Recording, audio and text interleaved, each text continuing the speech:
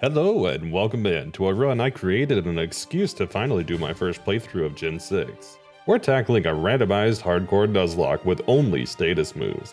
To clarify, all Pokemon, both wild and trainers, are fully randomized, and there's no logic that guarantees I get status moves or even Pokemon that are viable for this run. Any encounter, even early on, can give me a Pokemon that knows zero status moves and doesn't learn any useful ones, making them essentially useless except for maybe swapping in to tank damage. The only exception to that rule is the starters. I randomized these only for Mons that learned a viable status move by level 5, because otherwise I would have just kept restarting when I saw the starters until it randomly managed to give me a viable one. As for rules, we're following the standard hardcore Nuzlocke rules, meaning set mode, no items, and no overleveling. If the level cap seems a tad weird, I apparently slightly increased the levels a bit on the gym leaders, but this wasn't really intentional. I just didn't feel like fixing it after I started the run and realized it was broken. So here are the level caps from my run, which are roughly 10% higher than standard. And with that, we can finally begin. Except, kinda, beginning this run is a bit tricky. See, even though some Pokemon do get status moves, it doesn't mean they're a good lead. For example, getting a move like Supersonic means we can clear fights with it, but the 55% accuracy makes it difficult. Luckily on attempt 1 I got a Phantump who knew Confuse Ray, and after getting lucky with the confusion hits I made it through. The difficulty carries through the early levels and potentially into later depending on learn sets. This actually ended my first attempt before I even made it to the forest. This Zorua just happened to have Foresight, I chose Phantump out of the starters to prevent things from being able to hit me with normal type since it was Ghost, and a lot of Mons only learn normal type moves at low levels. On top of it knowing Foresight, it only hit itself in Confusion once. On attempt 2, things went better and I made it up to the first gym, though I was still stuck with only Confuse Ray. I was lower level and made the mistake of leveling on a trainer instead of a wild Pokemon and got completely swept by an Aurorus. Attempt 3, I made it into the gym and to the leader after learning to avoid trainers for leveling and playing Confusion carefully. Unfortunately, I once again still only had Confuse Ray, and didn't get lucky, so I completely wiped on the gym leader. Attempt 4 though started strong. Celebi was in the randomized starters and this meant access to Leech Seed. My first encounter was a Tangrowth, which didn't actually have much of the time, but was promising for the later bits of the run. Unfortunately, I got greedy and tried to grab the capture on Route 22. In order to get to a patch of grass, you need to beat a trainer on this route, and they just happen to give a lot of experience, so it overlevels Celebi. The capture in this route was Joltik, and my forest capture had been a Sentret. Since Celebi was overleveled, I couldn't use it, and had no status move for the gym, so back to the top once again. Attempt 6 was promising. I had gotten a Venonat and a Meganium who knew status moves, Training before the gym leader was extremely tough, featuring a Seviper and Vileplume, which was quite unfortunate. See, I only had Poison Powder and Supersonic to status my opponents, and Poison Powder wouldn't work here. While Supersonic was still viable, I had a lot of issue getting the Seviper to hit itself, so I almost lost Venonat just going through Seviper. This meant that Vileplume was something I had to PowerPoint stall until it struggled itself. Despite being a 30 minute ordeal with me breaking out calculators to live with literally red HP on every Pokemon left and losing Drowsy, I did actually beat them. After that, I breezed through for a while and the run was really shaping up. Then I hit Gym 2, where I ran into a Durant. I didn't have anything to outspeed it, and it kept wiping everything on my team. I'm pretty certain it was a hustle Durant that just never missed, but I'll never know because that attempt wiped and I had to go back to the start. Attempt 7! Once again a Celebi start, and this time quite rocky near the beginning. My first capture was Machamp, who didn't really learn status moves, and my first trainer battle was against a Blaziken. Luckily, since it was low level, it didn't know many strong moves, so Celebi was able to defeat it. Into the forest, and I found a Seismitoad, which actually was great for my team. The typing was different and a new Supersonic, so I had an alternate to Leech Seed for Grass Pokemon. Even better, the capture after the forest was a Bulbasaur, which was bound to be good at later levels. Unfortunately though, I had a tough choice. If I tried to level my new members on wild Pokemon, they'd likely get taken out, and I wasn't having any luck finding encounters I could take down with Supersonic without risking a death. So I flipped a coin and decided to challenge the trainer before the gym, despite most of my team being low level. You see, I needed to prevent Celebi from getting much XP since I had been carrying my team with it and it was already near level cap. This trainer pulled out a leap, which meant I couldn't leech seed it. Since Super Miss, my Seismitoad, was quite low level, I needed to be sure I'd KO it if I brought him out. So I used Machamp to set up minus 6 defense with Leer. After scoping out its moveset and running out of Astonish power points, I swapped in, and oh boy was it a good thing I stalled the Astonishes, because I missed 5 Supersonics in a row before finally setting Confusion, which took it down. Those levels got Leaf to Bulbasaur, and Super Mist strong enough to train against wild Pokemon for experience. I could have used Rare Candy to level as some people do, but I felt that it would be cheating for the purpose of this run. See, unlike a Nuzlocke where you can use normal attacks, wild Pokemon can and will sweep your whole team, or just take out members that can't beat the enemy. On my second attempt, I lost my forest capture to an Arena Trap Diglett right after catching it. Arena Trap prevents you from escaping, and Mahariyama didn't know any status moves. So due to cases like that, I decided to continue getting experience on the wild Pokemon to truly see the difficulty this run had to offer. After getting close to level cap, I went into the one required fight, managed to take down the Houndour and Dusknoir with Leech Seed. And with the gym leader unlocked, I was feeling pretty good. Bulbasaur had learned Leech Seed as well, and if I leveled in the gym fight, he'd acquire Poison Powder and Sleep Powder. Luckily, the randomizer RNG was good to me as the gym leader only had a Furret and Chansey, which proved to be quite easy to take down. I hadn't gotten the Route 22 capture beforehand though, and had a very scary encounter here. The trainer had a Rayquaza, but luckily it didn't get many moves this low level and I had a decent level advantage. So what was my reward on this route? It was God. Absolutely stellar capture, right? Wrong. The only status move it gets from leveling that would give me any offensive capability is Perish Song, and it doesn't learn it till 90, which we don't actually make it to in this run. I also missed my encounter on the route past Santalune by accidentally clicking run instead of bag. The RNG got even worse when I ran into a Chikorita trainer. What's so bad about a Chikorita, huh? Oh, let me tell you. Powder moves like Poison Powder and Sleep Powder don't work on grass types, and Leech Seed doesn't either. Well, I still have Super Mist and Supersonic, you say.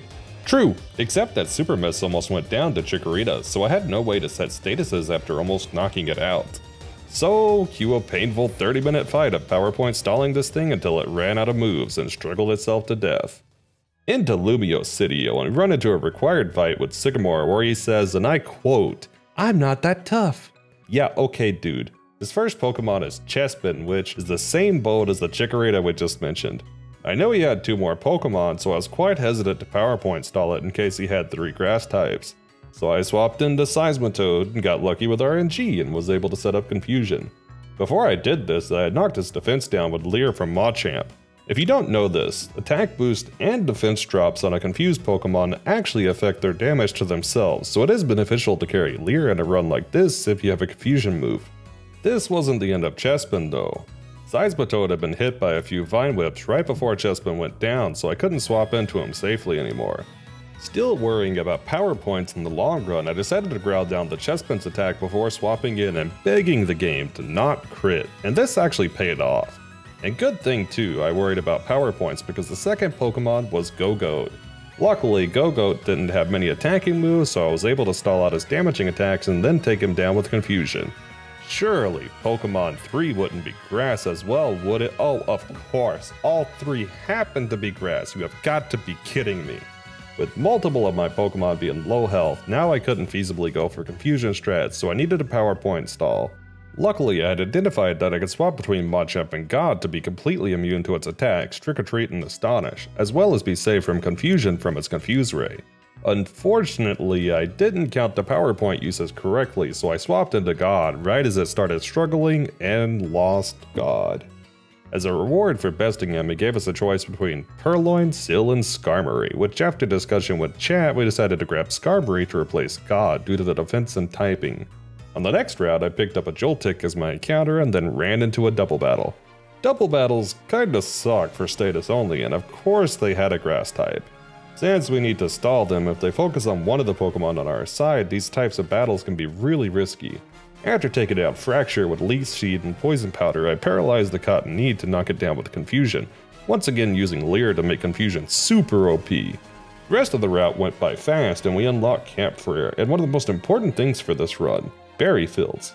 You see, berry fields let us farm Oran or Sitrus berries to make the battling a bit safer if we get hit hard. There actually is more benefit to this though, as you can create mutations, and with these mutations you can get EV reducing berries, which we'll get to later. The final important note about the berry fields is that if you plant some berries, you can wait some time they get an encounter here for one more Pokemon. Progressing forward, we get a Venipede from Route 6 and then clear the chateau and wake the Snorlax, which we capture. After clearing Snorlax, I found one of the biggest blessings of this run, which is a Blissey on Route 7. Since we're not using rare candy for leveling, we need something easy to take down.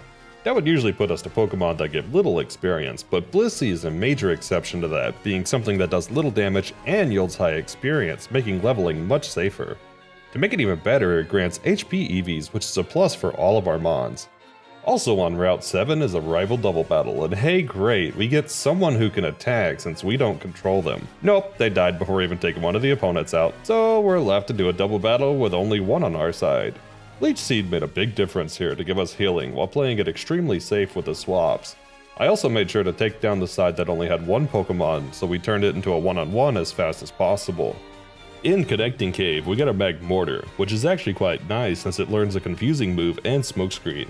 I was progressing fine through trainers and almost made it to Ambrette Town when I hit a wild Gengar. And I failed to run and it immediately used Mean Look. This was definitely my fault since I had Skarmory in front to get him more experience, but it didn't actually have a status move that could deal damage, meaning we lost another member. Making things even worse, they missed the capture of the next route since Xatu teleported away. I did manage the catch in the cave past Ambrette though, catching a Luxio who had Intimidate, which is a great ability for when you need to stall enemies routinely, and we named it Zira as a reference to Lion King. Further in the cave, we hit a Team Flare member with Darmanitan who's quite notably strong, but it's also fast and kept forcing me out due to knowing Swagger. I took some risks to set up Leech Seed with Celebi which paid off, but he knocked out Snorlax with Fire Fang after swapping him in. I'm fairly certain this was a sheer force Darmanitan due to the damage output. After my team getting destroyed by this Darmanitan, he pulled out an Emboar, and I thought it might be over. After looking through the Learn set, I decided I should try to take him out with Super Miss, so I set up Aqua Ring and started protecting between Supersonics. Living up to his name though, I missed like 4 Supersonics, so I decided to Growl instead so I could try for a Leech Seed or Poison Powder, which happened to pay off as I was able to swap out and set up Leech Seed with Ivysaur without taking too much damage, ensuring his demise. Though I did swap right before he cleared a flame charge, and since he was minus 6, I definitely would have lost Ivysaur if I hadn't swapped. And literally the next trainer had to have two Poison Grass Pokemon that my only out was either to confuse or stall. Which reminder, my only confusion setter is quad weak to grass. So I took a few risks and knocked out the Bellsprout with confusion and then painfully stalled down the Roserade till it ran out of power points. The next battle is a double battle where Serena was actually useful and I didn't struggle much, finally clearing the cave. In Ambrette, we got a Kecleon from the fossil and an Old Rod from the aquarium. The Old Rod is interesting since we can go back to the chateau and get an extra drill. It also lets us grab a catch in the next town to lodge for a Lilligant, which was quite awesome for status only. Before tackling the gym, we can go up to Route 10 for an Papa Berry and a capture, which turned out to be Intimidate Krokorok. After eradicating Blisseys and getting up to level, I returned for Badge 2. We made it to Grant without fighting a trainer, and he wound up being a pushover with Tepig and Grovyle. Oh, a grass type, a pushover, you say? let's make a clarification. We've struggled with grass mons up to this point, but Magmortar is on the team, and leveled up he got access to Smokescreen and Confuse Ray, but his ability is more important, which happens to be Flame Body. If something like Grovyle makes physical contact, it has a chance of getting burned, and that really carried us through this gym. After stomping through some flare grunts and getting to Geosenge, we get challenged by Korrina. First, she throws out a Samurott, which wasn't too bad, but her second mon, Dialga. Oh dear lord, we're gonna die. So that's very scary. But despite it doing tons of damage, having access to Leech Seed and Poison Powder made it much easier to deal with. Lily was also able to set up confusion since Teeter Dance has 100% accuracy, knocking the God of Time down. The next route encounter happened to be an Yveltal, which I did catch and named Moida, who would wind up being extra strong later. Cave leading to Gym 3 wasn't bad either. The first trainer had a Mew who went down to Leech Seed and we picked up a Taillow, proceeding to stomp the rest of the trainers easily, even getting Leaf to evolve into a Venusaur.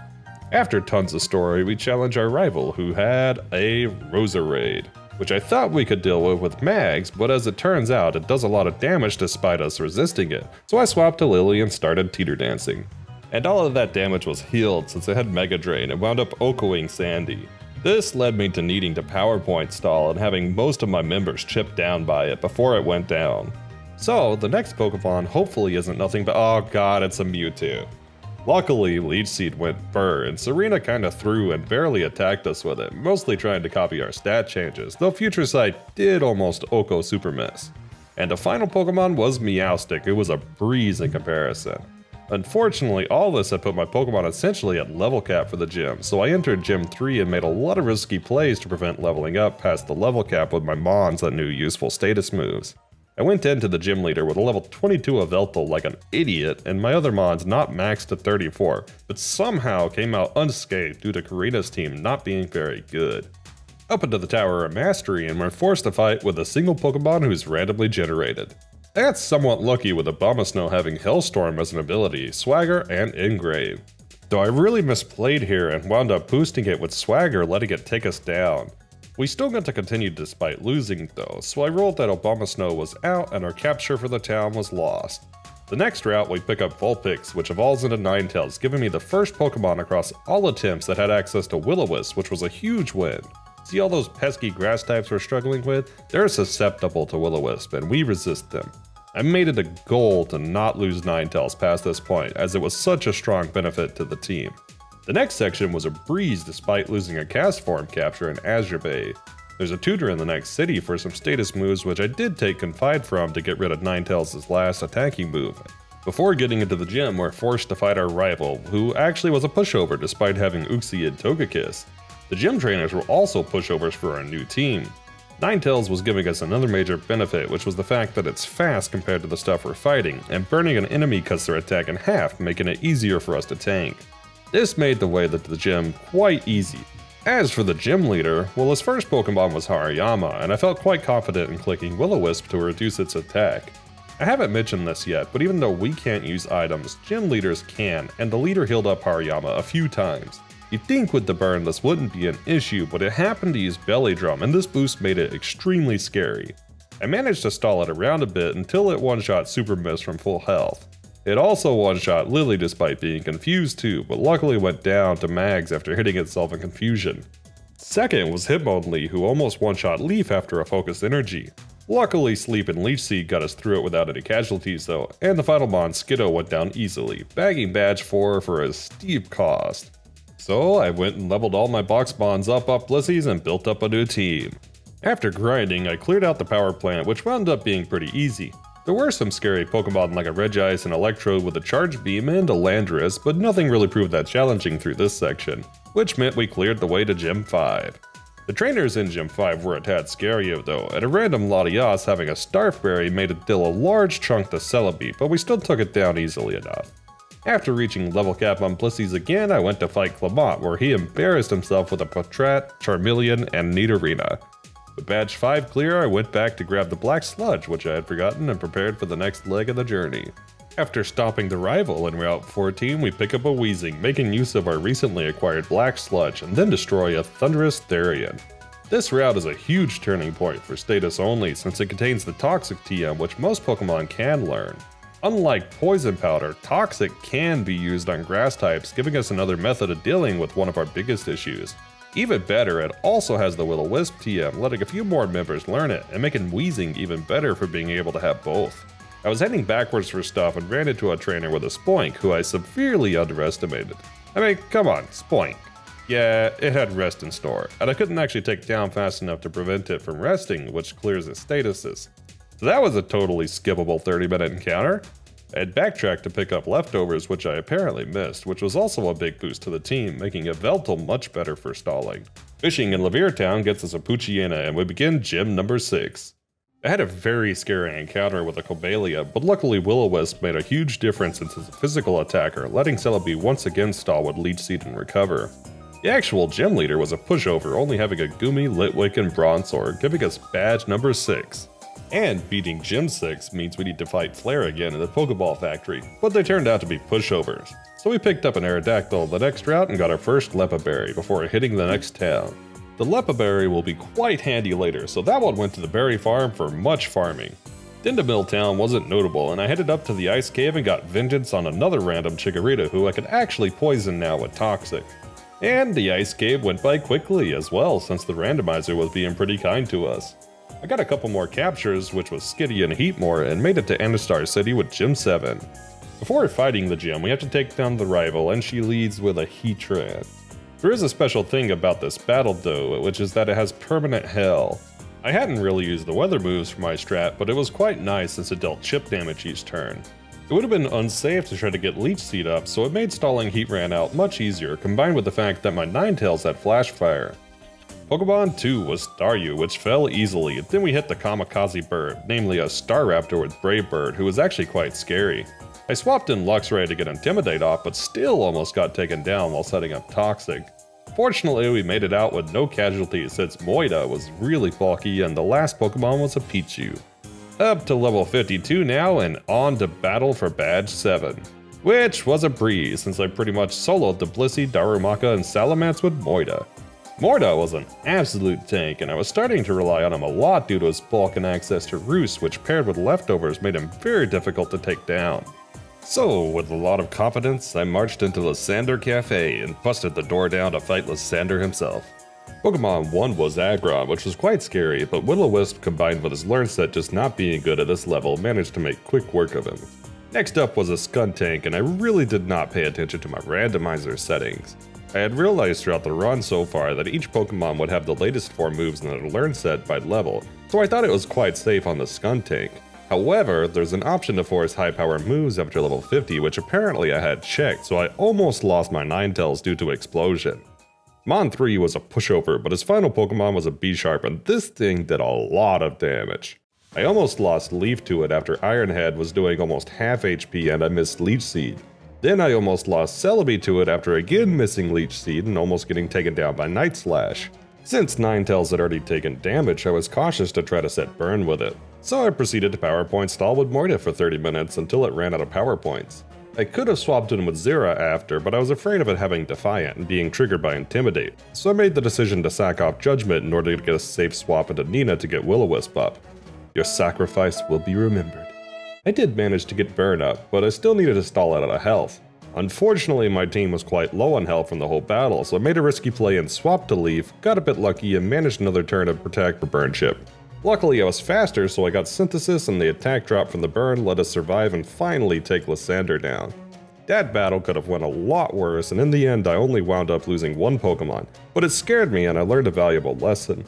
The movesets from this point would only get worse, and a lot of trainers would start having more Pokemon, making the need to stall for status damage more dangerous. I could only imagine getting a team of 6 legendaries and needing to take damage across all of them. So I made the decision to go back and grind EVs. After a ton of time farming berries in the berry farm for EV reducing berries, playing the super training minigames, and manually telling my EVs, I got everyone up to a full defensive set with only HP defense and special defense EVs. After reviewing one last time and spreading citrus berries, leftovers, and black sludge around, I went back to the Flare Cafe and sought to mop up the rest. The first trainer I came back to had a Meloetta, and while I might have survived before, I could tell the better bulk was already helping out. Which the legendary trend continued with Trainer 2 having Thundurus, Trainer 3 having Regigigas, and another one having a Phione. Despite maybe playing a bit too risky against an Altaria and almost losing Cough Cough by new to the team Weezing, I cleared floor 1 relatively easy without any major challenge. The final fight in the cafe turned out to also be no problem with Solosis and a Pidove getting destroyed easily. With the cafe cleared, we head back to Geosenge to stop Lysandre's plans, and I really don't know how this dude made it this far with a team of a Treecko, Phanpy, Rattata, and Bonsly. I mean his grunts had stronger Pokemon in every single double battle on the next floor, especially in Battle 3 where some random grunt had a Terrakion. Luckily in these double battles, Serena helps us out, and this time she's actually got somewhat useful Pokemon, making it pretty easy here. Except the Gliscor who took down her Beheeyem and then Serena clicked Explosion hitting us too. Fortunately, Cough Cough was really bulky so the Gliscor went down without any casualties from us. It was pretty funny for her to be disappointed with us going back to the Poke Center after every battle.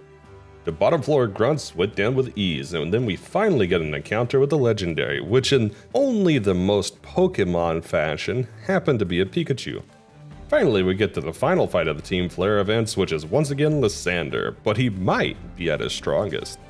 After laughing at his rock and rolla, he decided to scare me by pulling out a Xerneas against Moida. Luckily, its moveset didn't include Moonblast, so we actually managed to take it down with Moida. I did have to swap on his fungus since it couldn't be poisoned, but Cough Cough knew Will-O-Wisp and little dude never stood a chance. His final bond, Gardevoir, did do some damage though since it Mega evolved. It got pretty close to taking down my Celebi, but luckily Recovery Spam was a viable strat, finishing up the Team Flare events. With that, we got back to the main stuff and headed towards Badge 8, and on the way picked up a Jirachi in Terminus Cave, who we named Kite since it reminded me of the main character markings of the Dot Hack series.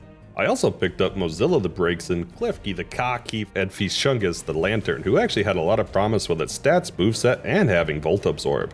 Okay, you know how the leaders are supposed to be the big honcho in the gym? Yeah, Trainer 1 had a Zekrom, who luckily Celebi countered easily enough. Trainer 2 had a Flygon and Palkia, which Moida just tanked like a boss, and Trainer 4 pulled out a Lugia. Moida was really showing how good it was with its typing, bulk, and moveset. Double Team Roost and Toxic was really chewing through my enemies at this point. Meanwhile, Wulfric's only scary Pokemon was a Tyranitar, but the best thing it could do voices Morta was Thrash. I mean, his last Pokemon was Servine, not like that could take my Beast of a Yveltal down, right?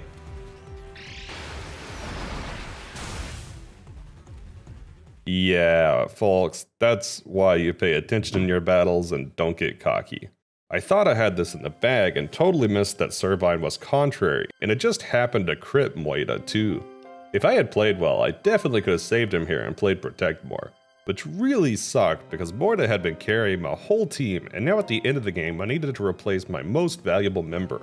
I really went back and forth on my team here, but eventually decided on Kaki's due to his typing. Luckily, the first trainer on Victory Road wasn't bad, and I picked up a Roserade from the previous route, and as my final capture for the run, I got a Pachirisu. I skipped what trainers I could and pressed forward, and just quite nervous after losing Moida and forgot one of the things I had learned early on in the run, which was to make sure to keep the front of your party with a Pokemon who was either fast or could status and survive something that might trap you in. I had Cough Cough in the front who was slow and found a wild Metagross. I failed to run twice and got crit by Psychic, which Cough Cough, who was my next bulkiest member after Moida. So yeah, I was not having a good day. I went back to the boxes and then decided to end stream that day and went through a lot of thought on how to proceed. I just lost my best two members and needed to rebuild a team at the end of the game.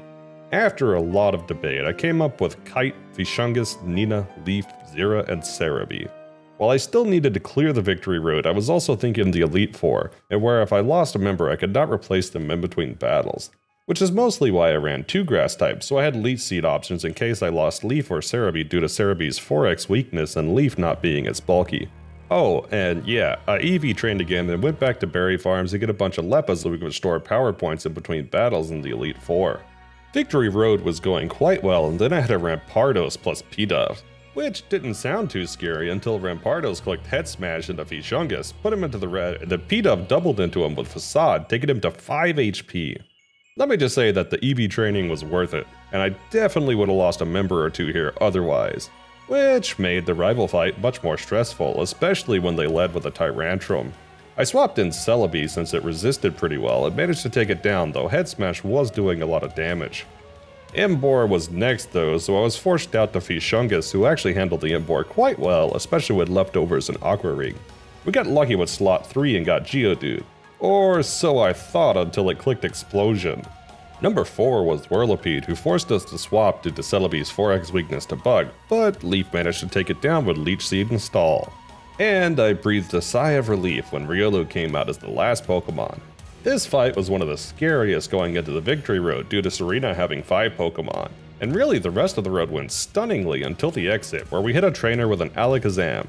My editor, Pretty Chill, actually asked me up front in this run how I plan to deal with Magic Guard if I ran into it, and I laughed and said hope that I never encounter it.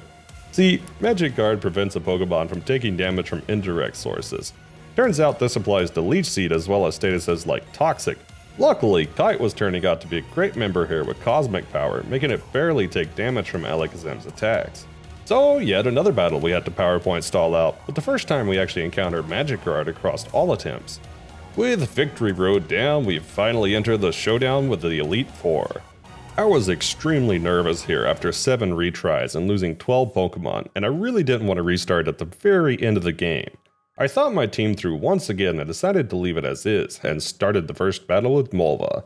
Pokemon 1 was Growlithe, and I kinda ran into a blessing in disguise, but I realized it could also be a curse. All the Elite Four members have a couple of full restores. Then status moves will always take their first Pokemon into the red before it goes down, they'll most likely use all their items on the first Pokemon. For Malva, this was beneficial since Growlithe wasn't too difficult to stall, but if I got something like a Primal Groudon on the first Pokemon, then it would be a huge problem.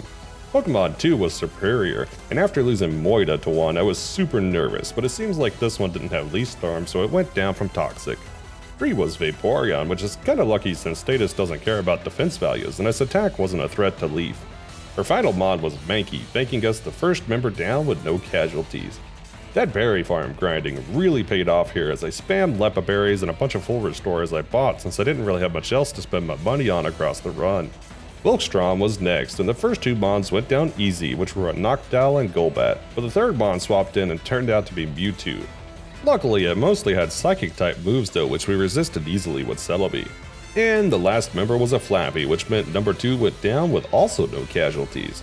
Next up was Drasna, who led with Registeel, and despite being super bulky, didn't deal much damage to us, so I used it to set up Cosmic Power Kite while healing on Leech Seed. The stat boost really made a difference, the clicked explosion and dealt all at 12 damage to us. Slot 2 Pansage went down to Toxic and then in came Cresselia. Two legendaries on Drasna, what luck! Though once again we were able to stall with Celebi due to it not having offensive moves that were great against it and Recovery and Leech Seed keeping our HP full with the last member being Lumineon, Fischungus mopped up to take member 3 down. You know what I said earlier about the full restore thing potentially being a curse? Yeah, into Siebold, and he pulls out Dialga as the first Pokemon. I had been leading with Kite in these battles due to it having Cosmic Power access, but I couldn't set up Toxic due to it being Steel type. But that was completely okay. The randomizer just happened to give it a Sticky Barb. That said, it did have Earth Power, so I played it safe and swapped to Celebi to stall with Leech Seed and Recover, Despite Roar Time doing a lot, it couldn't take us down and didn't get any lucky crits. Protect was really coming into play as well, since I generally tried to protect every other turn after I had something statist across the run. Mon 3 was Shuppet, who Fischungus tanked easily, then a Medicham who missed its high jump kick and fell into defeat. The last mod was Wigglytuff, and despite putting us to sleep, couldn't really touch Kite, meaning all of the Elite Four was down. The final battles here, and a full team of 6 Pokemon. First up was Phione, who was a pushover once we got Aqua Ring up. Azelf was number 2, and I just felt it deep down that it was gonna click Explosion after seeing the learn set, so I managed to tank it well with Jirachi due to resisting it. Next up was Bonsly, meaning we had a free Mon to set up plus 6 Cosmic Power with, and she happened to use both her full restores on the Bonsly, absolutely wasting those items. I forgot to mention the last move on Jirachi, which is Wish, meaning not only could we be insanely bulky, but we could heal ourselves which meant staying in to take down the next up Snorunt made it an easy KO. Porygon Z was the next victim of Kite, though it did manage to paralyze us with Zap Cannon. But at plus 6, Diantha really couldn't do much to us. And for the last lot, she Mega Evolved Latias, which, yeah, that's pitiful damage. So that's the story of how Jirachi is an amazing status only user, and we beat Pokemon Y with only status. Wait, this game has a battle after the credits? Encore time! Except, it wasn't really much of an encore. I swapped to Fischungus on his Kricketune and set up Aqua Ring, which paired with leftovers was excellent recovery each turn, letting Toxic melt through Kricketune, Cyndaquil, and his final mod, Fletchinder, ending the actual true final battle of this run. Would I recommend anyone else do the status only run? Absolutely not. This was a ton of work between the XP grinding, restarts, berry farming, and EV training and since it was randomized, every battle was stressful due to not knowing what I would run into. That said, I'm quite proud to have finished it and would like to thank all my viewers who stuck with me through the over 20 streams this took. This run took an enormous amount of effort, so I'd appreciate it if you could drop a like, comment, or consider subscribing for more future runs. If you're interested in seeing more Pain but live, go check out my Twitch, or if you want to see more post Pain, I'd suggest my Stadium 2 Except I'm Weak run, which took me almost 2 years to beat. I'm Glitch the Box Lynx, and I'll see you in the next Out of the Box Challenge.